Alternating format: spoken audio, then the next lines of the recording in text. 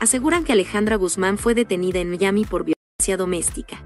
Luego de que la cantante, Alejandra Guzmán, protagonizara los titulares por agredir a un reportero en el aeropuerto, salen a la luz nuevas acusaciones, pues el presentador de Chisme No Like, Javier Seriani, asegurara que la artista pasó cinco días tras las rejas en Miami por presunta violencia doméstica.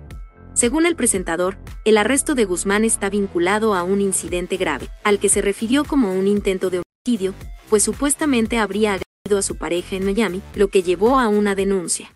Elisa Beristain expresó, hoy van a ver que ella, como cualquier criminal, estuvo detenida cinco días, por violencia doméstica. Para respaldar sus afirmaciones, Seriani presentó un documento oficial en pantalla durante el programa, haciendo un llamado a la audiencia para que prestaran atención a los detalles. Fíjense bien, cinco días detenida como lo que es, una delincuente que canta, dijo Seriani. El presentador de Chisme No Like también reveló que Alejandra Guzmán habría pagado 1.500 dólares de fianza, además de los cinco días que pasó en arresto en Miami. Según las leyes citadas por Seriani en el programa, Alejandra Guzmán pudo pasar hasta un año en la cárcel por el delito que habría cometido. Si la persona es acusada de menor con lesiones, el castigo puede llegar a un año de prisión en una cárcel del condado.